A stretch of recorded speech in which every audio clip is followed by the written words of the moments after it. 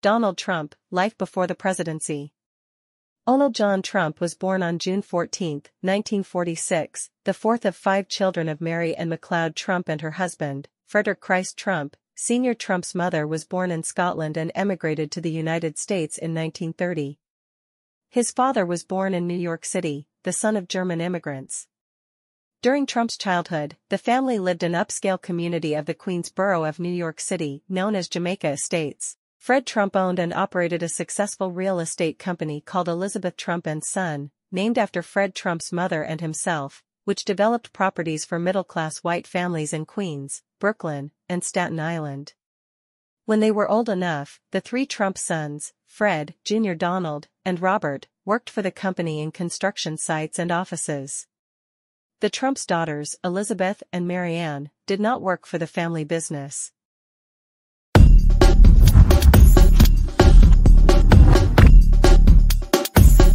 Donald and Robert Trump eventually became involved in their father's business as adults. Their brother Fred became an airline pilot, and died of alcoholism in 1981. Donald Trump cites his brother's ultimately fatal battle, with addiction as the reason he does not drink. Robert Trump died in 2020. As a child, Trump displayed behavioral difficulties. He was a pretty rough fellow when he was small, his father later remembered. In an effort to instill a sense of discipline, his parents enrolled him at age 13 in the New York Military Academy, north of New York City. Trump reported that he enjoyed the drills and lifestyle, but the academy marked the extent of his involvement with the military. He enrolled in Fordham University in New York City, and then transferred to the University of Pennsylvania, where he earned a bachelor's degree in economics through Penn's Wharton School of Finance and Commerce in 1968. During the Vietnam War in the late 1960s, when Trump was in his early 20s, he used college and medical deferments, due to a physician's diagnosis of bone spurs,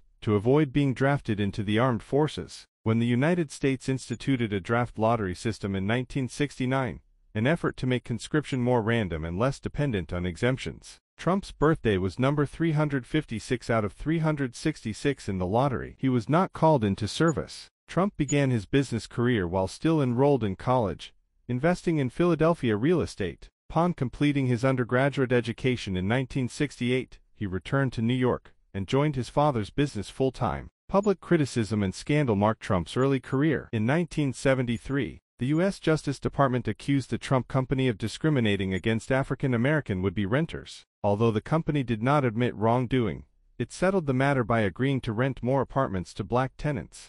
In the 1970s, Trump helped expand the business, buying properties outside of New York City in locations such as Virginia, Ohio, Nevada, and California. At the same time, he expressed an interest in expanding the company's real estate operations closer to home, moving from New York's outer boroughs and into Manhattan, a traditionally more affluent and high society area. By the mid-1970s, the now renamed Trump Organization had branched into Manhattan skyscrapers. Trump's first big move, in 1976, was to develop the Grand Hyatt Hotel on the grounds of the by then bankrupt Penn Central Railroad's Commodore Hotel. Although the Trump Organization did not have enough money to purchase the hotel, Trump used his personal relationship with the Hyatt hotel chain and his father's political clout. Fred Trump was a prominent member of Brooklyn's Democratic Party to negotiate an unusual arrangement with the government of New York City. Trump received a 40-year tax abatement, or a reprieve on paying property taxes on the hotel. Originally worth $4 million per year, the abatement totaled approximately $400 million over 40 years due to inflation in the value of the property and changes in the tax code. He then used the promise of those savings to persuade the Commodore to sell to him and Hyatt to partner with him. Whatever my friends Fred and Donald want in this town, they get, New York Mayor Abraham Beame reportedly said of the deal. In the 1980s, Donald Trump established a reputation as a major real estate developer. He built the 36-story cooperative apartment complex called Trump Plaza, as well as Trump Tower on Fifth Avenue, which housed luxury stores and Trump's own multi-floor residence and company headquarters. He also expanded into the casino business in Atlantic City, New Jersey, building the Trump Plaza Hotel and Casino, originally called Harrah's at Trump Plaza and Trump Castle. In 1990, he built the Trump Taj Mahal at a cost of nearly $1 billion. Despite these major business operations, the Trump organization faced severe financial challenges. Trump borrowed significant amounts of money to fund the hotels and casinos. The situation grew so severe in 1990 that Fred Trump, then in his 80s, purchased more than $3 million in casino chips at Trump Castle so the casino could make an interest payment. That purchase was later judged to be an illegal loan, and New Jersey assessed a fine of $65,000. to Trump-owned companies filed for bankruptcy during this period, the Trump Taj Mahal in 1991 and the Trump Plaza Hotel in 1992. An unflattering biography of Donald Trump, published in 1993, was titled Lost Tycoon and declared that he has become a public laughingstock in the wake of his business failures. In the years that followed, Trump used bankruptcy protection to reconfigure the debts of the many companies that comprised the Trump Organization, successfully making debt payments even as he accumulated more total debt at higher interest rates. As he explained, looking back in 2011, I've used the laws of this country to pare debt. He also formed a publicly traded company, Trump Hotels and Casino Resorts, both protecting himself from financial liability and allowing him to sell shares to the general public. He initially owned 56% of the stock, giving him a majority and thus total control of the company, which acquired several of the Trump Organization's properties and companies. In 2004, the company was unable to pay its loans and had failed to turn a profit. It entered bankruptcy protection, and Trump reduced his stock holdings to 27%, giving up an active role in the company. Trump himself blamed the general decline of Atlantic City for his company's failures, although critics pointed out that his casinos had never done well, even when Atlantic City's gambling economy had been strong. Efforts to revive the company failed, and it entered bankruptcy again in 2009 and 2014. By the time Trump announced his campaign for president in 2015, his gambling businesses had entirely ceased operation. Shareholders in the company lost their investments, and many vendors and creditors suffered losses, but Trump's personal financial losses were mitigated by his financial and legal actions. During his tumultuous business career, Donald Trump retained the public appearance of high-flying success. As his real estate and gambling businesses failed, he succeeded in protecting his brand and shifting into licensing businesses in the United States and abroad. In 2004, the New York Times noted, his name has become such a byword for success that even the most humiliating reverses barely dent his reputation. The rules that govern others just don't apply to Trump.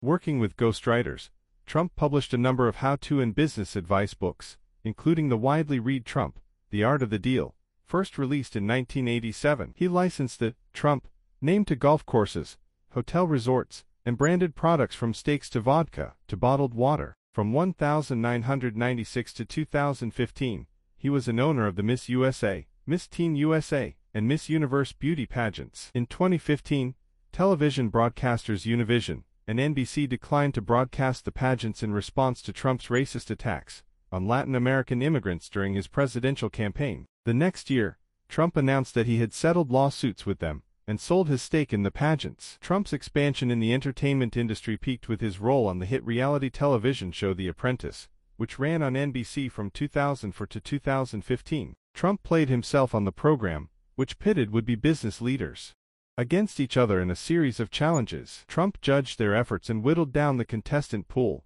each week telling one losing contender, you're fired. The show and its companion program, Celebrity Apprentice, were widely watched. They helped Trump reach national audiences and confirmed, to many viewers, Trump's image as a successful and charismatic businessperson who was a straight talker, telling people the hard-to-hear truths. Only when Trump formally announced his presidential campaign, with anti-immigrant and racist rhetoric didn't Universal formally end his relationship with the program. Trump's business interests are bundled into an entity known as the Trump Organization, the descendant of the company founded by his grandmother and father. Trump took over the company in 1971, renamed it in 1973, and bestowed formal leadership of it to his sons Donald, Jr. and Eric in 2017. Unlike a typical business corporation that officially owns its subsidiary parts, the Trump Organization is a collection of approximately 500 individual business entities, all owned principally or solely by Donald Trump himself. None of those constituent parts are publicly traded companies,